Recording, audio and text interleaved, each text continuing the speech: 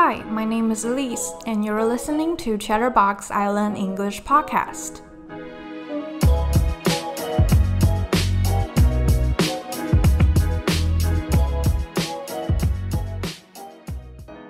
Hello, and welcome back to Chatterbox Island English Podcast. I'm your host, Elise. As always, we're gonna chat about different topics in English on this podcast. So, in the last episode, we talked about the personality difference between dog people and cat people. So, if you're interested in knowing what the differences are, or if you own a cat or a dog and you want to know if the studies are accurate, you can go check out that episode if you haven't already. And if you want to listen to any previous episodes of this podcast, you can always click on any platform that you're listening to right now. So today's topic is kind of an interesting one. We're gonna talk about minimalism.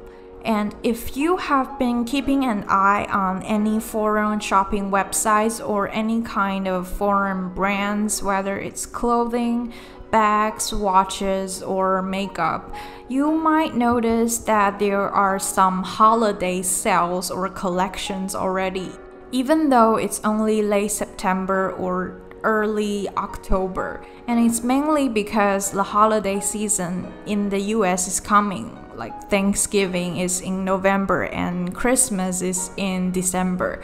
So, a lot of brands will come out with holiday sales or collections. I think even in Taiwan, some brands will do that too. And we also have 11 11 shopping day, which is on November 11th, and it's very much like the Black Friday sales in the US. So many people are planning on purchasing some stuff around this time of the year, whether it's buying gifts for friends and family or just getting some stuff while they're on sale. And I'm not gonna lie, I used to be the type of person who just bought something because it's on sale, and I even felt like I was saving money. But then I realized I just bought a lot of stuff that I can't even finish using or I don't even need. So, for example, I used to love buying makeup. I still do, actually. But whenever I went to a drugstore or I went shopping online, I always ended up buying lots of stuff that um, it would take me forever to use them up which is why we're gonna talk about minimalism, 极简主义. Now, I assume when most people first hear about minimalism, they think of arts or interior designs with simple lines, shapes, or colors. And while it is the origin of minimalism, it became more of a lifestyle or a mentality nowadays. There are no rules or criteria when it comes to being a minimalist. You don't need to buy minimalistic furnitures or clothes or only keep a certain number of things to implement minimalism in your life. It's less about owning fewer things and more about actively making choices on what kind of things that truly matter to you. So, if you want to implement minimalism in your life, the first step is to declutter. So, let's say you have a wardrobe full of clothes and shoes, and instead of buying more clothes that look minimalistic, just try to declutter the stuff that you don't need and keep the clothes and shoes that you actually do wear. Same with other things in your house as well. And that might sound easy, but it's actually really hard to do so, at least for me. I would say that I am a bit of a hoarder and I often hold on to things purely for sentimental reasons and attachments, even though I know that I don't need or use them anymore. And as embarrassed as it is to admit it, I am a messy person.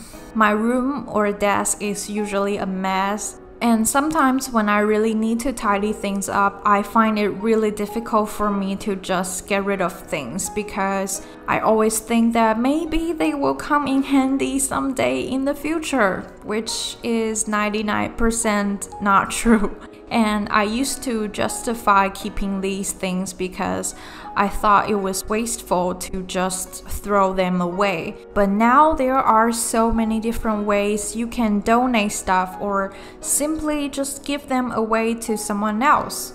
For example, I think many people already know that you can donate secondhand clothes, but you can also donate books or magazines because I remember seeing a bin for secondhand books donation in bookstores. Or maybe just search online and see if there are any nonprofit organizations that need any specific donations. And once you finish decluttering, the next step is, of course, to stop yourself from purchasing new things. And I think we've touched on this in the previous episode called Does Shopping Make Us Happy? But we mainly just talked about how to prevent um, ourselves from impulse purchase, whereas minimalism focuses on only buying things for necessity. I think it's the direct opposite of consumerism, which emphasizes on having or possessing things. We make money so we can buy stuff. It's as if the more things we own, the happier we will be.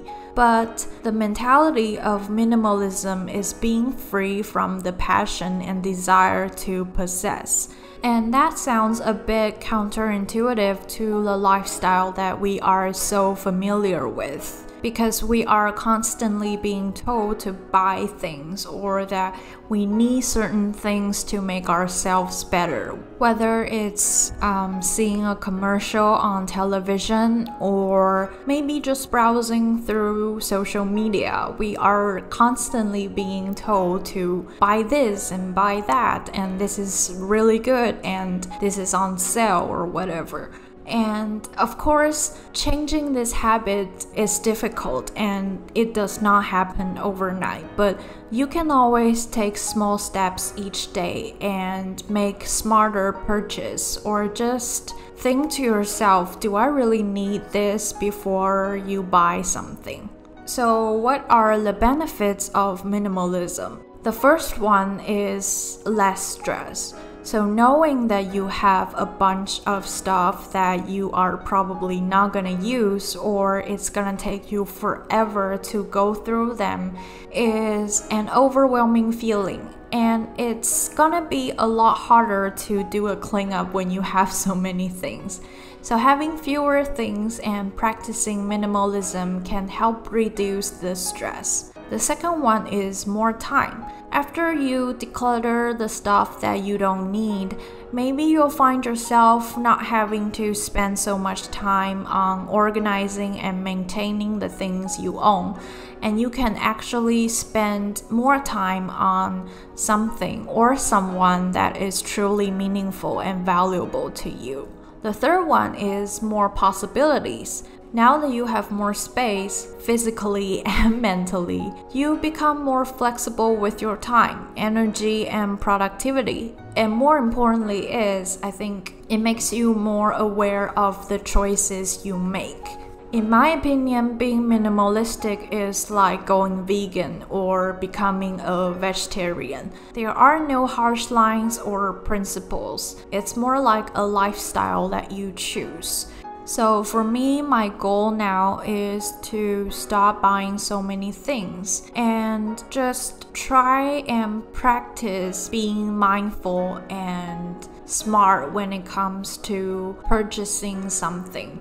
And although I'm not trying to become a complete minimalist, I still want to implement the idea of minimalism in my life. So, what about you? Are you like me and you own a lot of stuff? Do you feel that owning many things makes you happy? Or maybe you are already a minimalist. How do you implement the idea in your daily life? Feel free to share your thoughts or experiences down in our YouTube comment section, and I would love to know. That's all for today's Chatterbox Island English podcast. If you enjoyed this episode, you can subscribe to our show on Anchor, Spotify, Apple, or Google Podcasts. You can also find our shows on YouTube and go on our website that's www.eisland.com.tw for more information. I'm your host Elise and I'll talk to you soon in the next episode. Bye!